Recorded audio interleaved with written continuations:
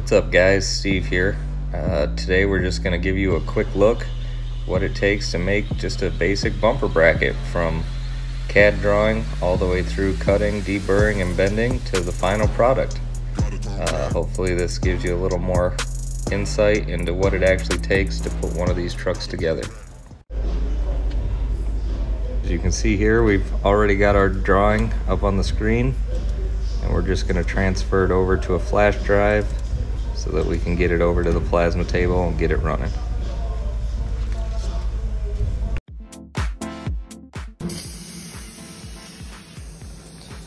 Now we're over on the table here. We got our part loaded in the machine, cutting away some quarter inch steel plate. Um, total cut times just short of three minutes to cut out one of these brackets here. We're currently cutting at 65 amps, 60 inches a minute.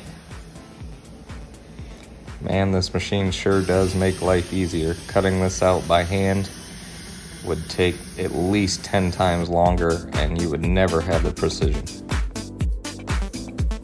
Now that we're off the plasma table, we'll get it over here. We'll deburr the whole part front and back, clean up all the rough edges, and we'll get it ready to get it over to the brake for some bending.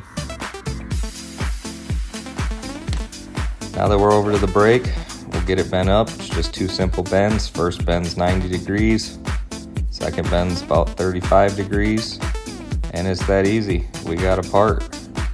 So uh, now we'll get her over to the truck, we'll get it ready for paint, and then we'll get it installed. Thanks for sticking around through this video. Don't forget to like and subscribe the page for more tips and tricks on how we build these badass rides.